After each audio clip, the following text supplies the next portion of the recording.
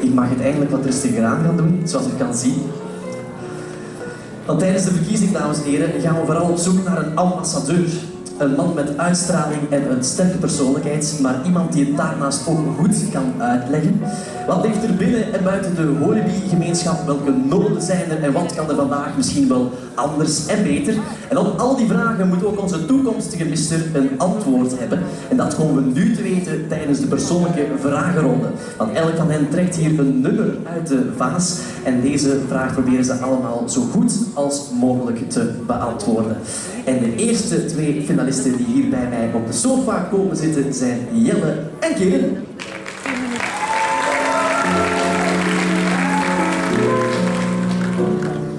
Heren, even rust. Ja, een drankje had er ook nog wel bij gemogen, maar helaas. Hè. Uh, Jelle, jij mag als eerste de spits uh, afbijten en een nummer uit de vaas uh, nemen. Zelfs grabbel. Ja, grabbel hier. Een beetje lingo. Elf. Elf. Jelle, onze regering keurde in 2017 de afschaffing van levenslang verbod op bloeddonatie door homomannen goed. Homo's mogen dus bloed geven, maar enkel als ze 12 maanden geen seks hebben. Wat vind je daarvan? Ja, uh, daarin moet ik Danny bijtreden. Hij zegt inderdaad, ze zijn de regels op papier aan het veranderen. Maar in de praktijk is er nog heel wat werk en is er eigenlijk nog geen gelijkheid. En dat is hetzelfde voor uh, ja, Walibi-gezinnen. Als wij kinderen willen adopteren, dat kan sinds 2006. Maar in de praktijk blijkt dat wij met heel wat beperkingen zitten en door een gebrek aan een kader om draagmoederschap is dat praktisch onmogelijk. Er is nog een hele weg af te leggen. Ik heb gelezen in een uh, document van de Senaat dat de meeste politieke partijen ook achter altruïstisch draagmoederschap staan. Waar dat ze nog wachten, ik weet het niet. Bevestiging van de pauze of zo, ik heb geen idee. Um, maar ze moeten er dringend werk van maken. Ja, dat is waar. Kirin, jij mag ook een vraag nemen. Uh, zeven. Zeven. Bart Abeel zei het net, hè, dit jaar herdenkt onder andere Antwerp Pride 50 jaar Stonewall in-rellen. Maar wat vind jij zoals initiatieven zoals de Pride? Zijn die nog wel nodig, Keren? Ja, tuurlijk Bram, is de Pride nog nodig. Uh, om verdraagzaamheid te creëren naar de LGBTQ mensen en andere landen te laten stimuleren voor die verdraagzaamheid. Kijk naar India, die heeft op uh, 2 februari de Pride gehouden in Mumbai. Men zegt iedereen is welkom, maar laat mensen met een beperking daar ook welkom zijn. Laat ze meelopen in de Pride. Misschien zijn ze niet geflatteerd tussen het mooiste publiek dat ertussen zit, maar het draait daarom de Pride. De Pride draait om zichzelf te zijn en te laten zien wie je echt bent. Mooi woorden, dankjewel. En ja, dan staan de volgende drie heren normaal gezien al klaar. Dylan, Joff en Joris.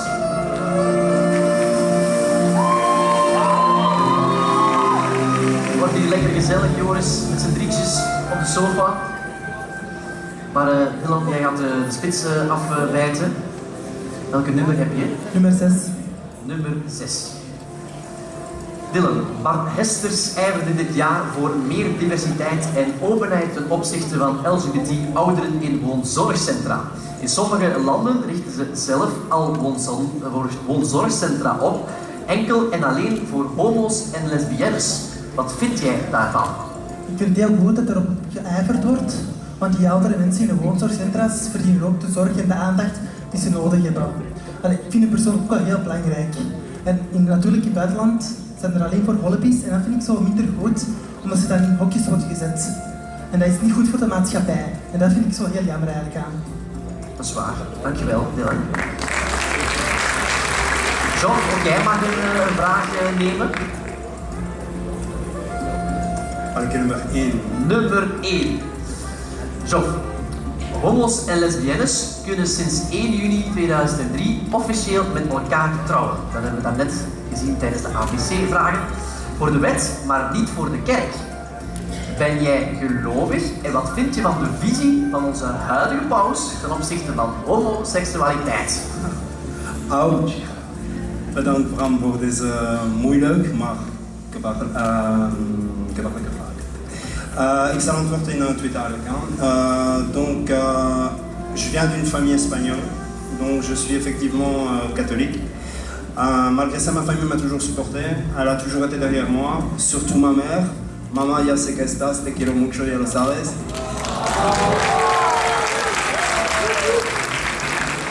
Um, over de, de visie van onze baas. Uh, ik heb gezien in één kant positieve en progressieve en uh. Bijvoorbeeld de paus heeft in 2015 inviteerd een transgender in de Vaticaan en ook een uh, gay slachtoffer van seksuele mishandeling laatste jaar. En hij geeft veel steun aan deze mensen. Maar uh, aan de andere kant, ik heb nog gehoord uh, negatieve berichten over de homo's. Bijvoorbeeld dat die, die kinderen moeten gaan naar de psychiatrische ziekenhuis. Sorry. Um, en ze zijn nog tegen de huwelijk.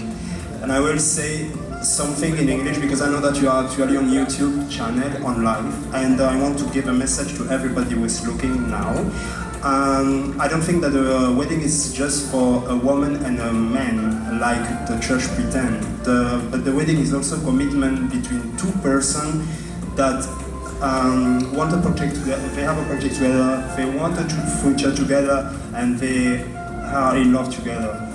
No matter what your gender, love is love. Gracias.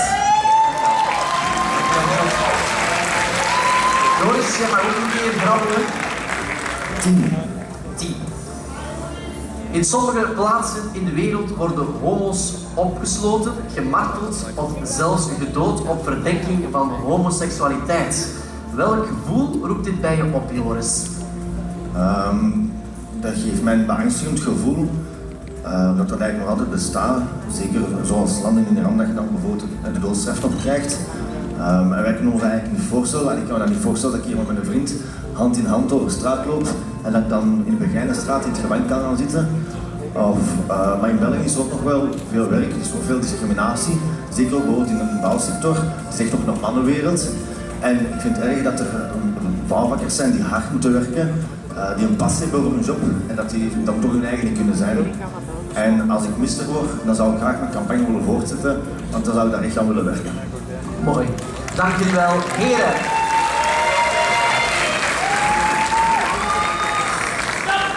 Ja, en graag roep ik alvast hier de volgende twee kandidaten bij me op het podium. Nu applaus voor Thierry en Matthias.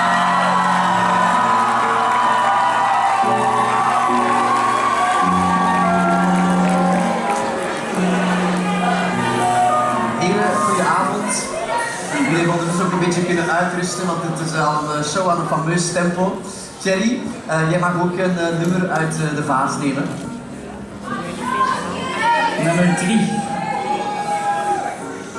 Thierry, de laatste maanden werd er opgeroepen om de hotels van de Sultan van Brunei te boycotten. Weet jij waarom en wat vind jij daar allemaal van? Ja, eerst en vooral vind ik het heel verschrikkelijk wat er allemaal gebeurt in deze islamitische landen. En uh, inderdaad, dan ook, dan zien we dat Brunei, wat hebben ze daar gedaan? Dan hebben ze de islamitische wet ingevoerd. Dat wil ook wel zeggen, dus de doodstraf, de versteniging voor de, bij homoseksualiteit. Um, en dat is echt wel heel vreselijk natuurlijk. Gelukkig, zoals u net zei, zijn er ook wel grote beroemdheden, zoals George Clooney, die hebben gevraagd om de hotels van de Sheikh te boycotten. En dat is ook wel gelukt, want deze strafwet is ook wel die afgeschaft geweest. Um, ik zou ook al zeggen, voor mij mag er één punt zijn in alle landen. Hou van je kind, ongegeven zijn geaardheid.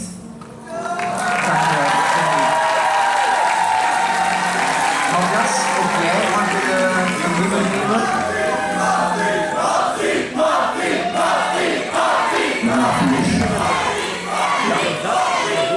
Je zit er bijna op de voetbalzicht, hè?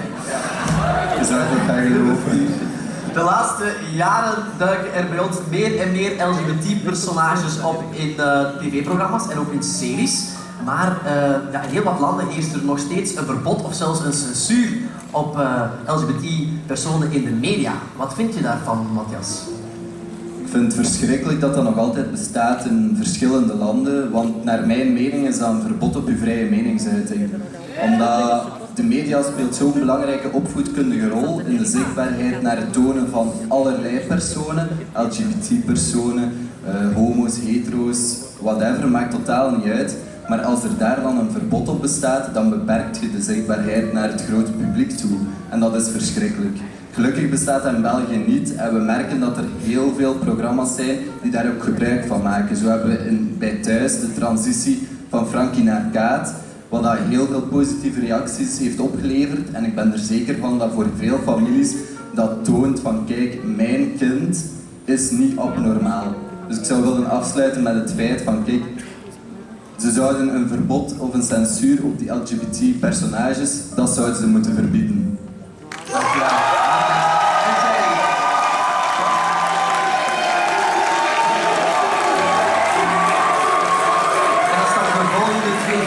volop te en Jochem.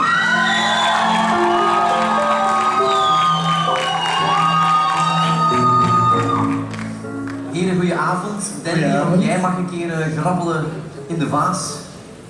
Acht. Acht. Delhi. Als Mr. G Belgium word je vaak eh, een rolmodel genoemd. Maar hoe belangrijk zijn rolmodellen volgens jou? Eh, ja, persoonlijk vind ik rolmodellen zeer belangrijk. Mocht Rosa Parks niet geweigerd hebben om recht te staan, mocht Martin Luther King eh, geen droom hebben, mocht de Dalai Lama geen boeken hebben geschreven, zonder hen zouden we vandaag niet zo ver staan zoals we nu staan. Eh, dit is ook een van de redenen waarom ik mij heb ingeschreven voor Mr. Gay Belgium. Het is een unieke kans om als Mr. een rolmodel te zijn. Eh, en dan moet je die kans ook met twee handen grijpen natuurlijk. Ik heb de afgelopen maanden ook campagne gevoerd. Mijn campagne noemt Doorprik het. Ehm, wij willen doorprikken uh, het stigma, want homoseksuele en biseksuele mannen mogen voor 12 maanden lang geen bloed doneren en wij willen deze verkorten. Mooi, het eh, nummer Ja. één. Twee. Twee. Twee. Het percentage zelfdodingen bij LGBT-jongeren ligt de laatste jaren enorm hoog. Kan je hier een verklaring voor geven? Wel, eh, eigenlijk is dat een vraag uit twee delen. Hè. Enerzijds hebben we België, staat nummer 1 in de West-Europa qua zelfdodingen. En we weten ook dat daar de jongeren de meest kwetsbare groep zijn. Daarbij is natuurlijk LGBT plus zijn een versterkende factor. Eh, want zo is homofobie, lesbofobie en transfobie afgenomen in België, maar de intensiteit ligt wel veel hoger. Een perfect voorbeeld daarvan is Vanity Fox, die twee dagen geleden nog eens aangevallen geweest bij de Kebassa. En dat zorgt natuurlijk wel voor een hele grote schrik bij jongeren. En het ergste wat er kan gebeuren is dat je zelf niet mocht zijn. En dat maakt je ongelukkig en dat zorgt ervoor dat die cijfers zo hoog liggen. En daarin kan een GSA wel iets aan veranderen. Want de eerste plaats is daar steun en toeverlaat voor de LGBT's. En de andere plaats is holibifobie en transfobie bestrijden op school. Dankjewel, Jochem en Nelly. En dan hebben we nog twee finalisten en twee balletjes. Ik wil graag Niels en Aaron bij me op de sofa.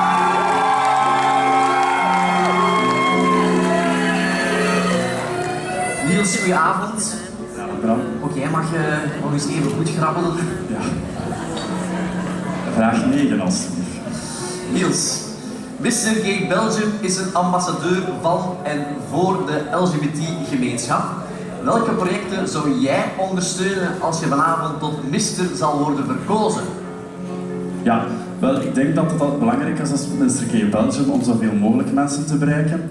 Zelf heb ik mij ingezet ehm, tegen discriminatie en vooroordelen, omdat dat een thema is dat toch wel breed is en in alle lagen van de bevolking voorkomt. Ehm, ik heb zichtbaarheid gegeven aan kwetsende opmerkingen op, aan de hand van een foto die ik online heb eh, gepost.